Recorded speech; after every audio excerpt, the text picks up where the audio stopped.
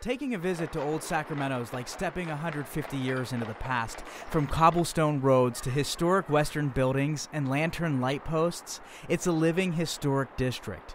But it wasn't always that way.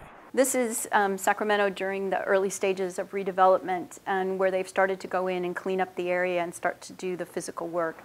Old Sacramento remains the largest grouping of Gold Rush era buildings in California. And while it's a popular tourist and family friendly area today, it was once considered the slums, says Sacramento historian Marcia Eymann. It was a skid row.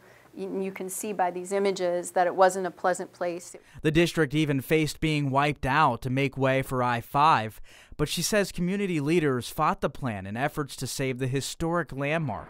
And it didn't stop there, taking years and significant investment before Old Sac was turned around and into what it is today. I think Old Sacramento is important because it brings back the history of how Sacramento was founded.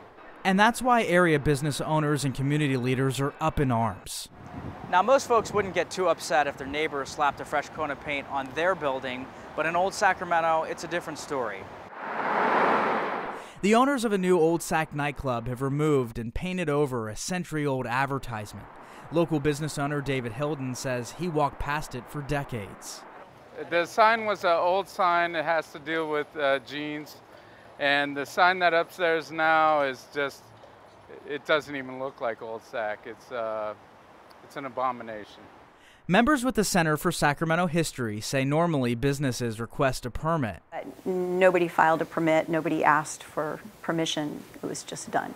Eymann says that business has since agreed to restore the advertisement. However, I've reached out and haven't heard back.